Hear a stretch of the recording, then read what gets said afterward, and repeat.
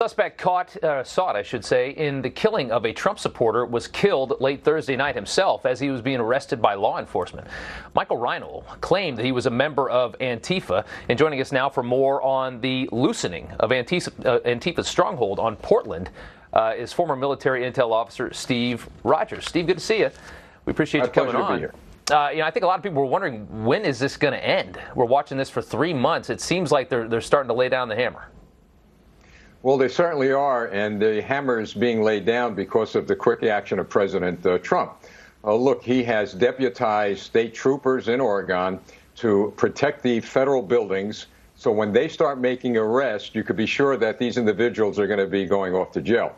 One of the problems that uh, we're facing in Oregon and other cities is that you got the DAs, district attorneys, Right. uh, telling the police, you know, not to arrest these people, to, to look at their needs first. Well, President Trump is not going to tolerate that. Uh, they're going to be arrested and they're going to be carted off to jail. But I, I, I was under the impression that the feds could only do so much, that they can only charge for things that are federal crimes. And a lot of the vandalism, the things that we've seen, the burning of things, uh, it doesn't go under a federal crime. And so that's left to the local DAs, who, like you said, a lot of times are very liberal. Well, you're absolutely right. Uh, and as a result of the uh, state troopers being deputized, they'll be able now to protect those federal buildings. But what I see this is the beginning of starting to integrate everyone together because, look, Portland is completely uh, a disaster right now. And you're going to see the authority be somewhat expanded because they are state troopers, they are deputized. And uh, I just believe that the president's uh, going down the right path to bring law and order back to that city.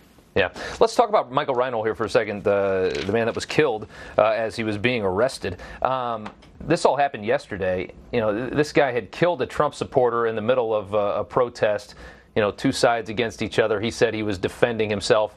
But the really interesting thing was to see him pop up in the media and to see Vice News do an interview with this man uh, before while he was still being sought by police. What'd you make of that?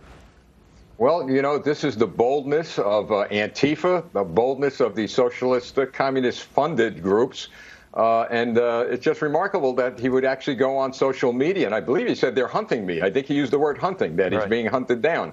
Uh, but keep in mind also what is really surprising, and well, maybe not surprising, but rather shocking, not even the DNC, the Democrats, the socialists, no one really came out and condemned this guy for what he did. So maybe he was again emboldened by the tacit, if anything, uh, uh, approval of some of the people who he believes he was representing and supporting. But uh, look, it, we don't want to see anybody die, but I'm glad he's off the streets. Absolutely. What do, what do you think is feeding all of this? I mean, a lot of people say they've never seen a, a situation like this in this country.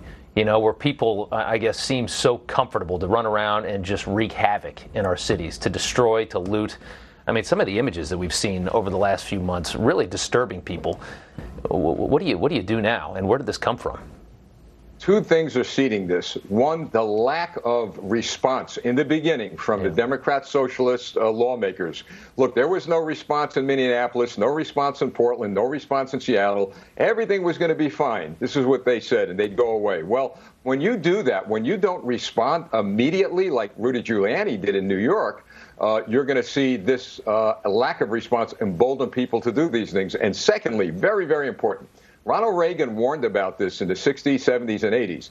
He said, you know, we were at war with the Soviet communists, uh, but the American people didn't understand it was indeed a war to take this country down. Here we are in the 21st century, now at war with socialists and perhaps being fueled by the Chinese Communist Party. Uh, and other uh, entities uh, trying to bring this country down. So, this is what it's all about.